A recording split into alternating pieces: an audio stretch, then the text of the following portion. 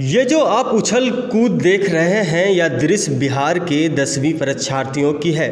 हर साल की तरह इस साल भी सुशासन बाबू बिहार में बेहतर शिक्षा व्यवस्था का दावा करते आ रहे हैं। यह दृश्य बिहार के बेगूसराय का नंबर वन जीडी कॉलेज का है।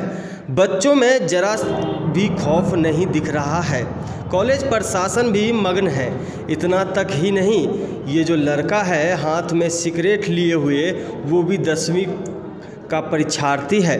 अब देखना यह है कि नींद में सोई हुई कॉलेज प्रशासन की सरकार कब इस पर ध्यान दे। इस मामले पर हमने जीडी कॉलेज के छात्र संघ अध्यक्ष से बातें की। सुनिए उन्होंने क्या कहा। बोले, आप जीडी कॉलेज छात्र संघ के अध्यक्ष हैं और सुनने में आ रहा है कि जीडी कॉलेज में कदाचार का मामला पाया जा रहा है। इसमें आपकी क्या राय है? आपके चैनल के माध्यम से मैं पूरे बिहार वासियों को और सरकार में बैठे हुए लोगों को, प्रशासन में बैठे हुए लोगों को यह बताना चाहता हूँ कि आपने जिस जिस परीक्षा केंद्र का चुनाव किया है, उन सभी परीक्षा केंद्रों पर जिसके लिए छात्र छात्राओं से आपने पैसे लिए थे, एग्जामिनेशन फ़ी के नाम पर, वो सुविधाएँ आप उपलब्ध नहीं करा पा रहे हैं।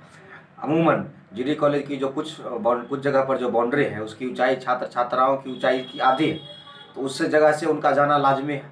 और मैं सरकार में बैठे हुए लोगों से यह कहना चाहता हूँ कि इतनी चाक चौबंद व्यवस्था के बावजूद आपके कानून को और आपकी प्रशासन व्यवस्था को धता पता करके छात्र छात्राएँ मोबाइल से चीट पुर्जा ले करके अब वो सही है या गलत है ले करके वो बाउंड्री वाल तरफ़ करके जा रहे हैं और आपका प्रशासन वहाँ पर कुछ नहीं कर पा रहा है। और जहाँ तक बाउंड्री वाल का सवाल है तो उसके लिए जीडी कॉलेज प्रशासन साफ़ तौर पर जिम्मेवार है कि इतनी दिन गुजर जाने के बावजूद जीडी कॉलेज की आजकल संपूर्ण बाउंड्री जो है वह पूरा नहीं हो पाया है। इसके लिए महाविद्यालय प्रशासन जिम्मेवार है। बाकी सरकार जाने की वो परीक्षा कंडक्ट करवाती है, उसके लिए पैसे लेती है तो कहाँ से वो समय ठीक करवा पाएगी? छात्र संघ अध्यक्ष, जी डी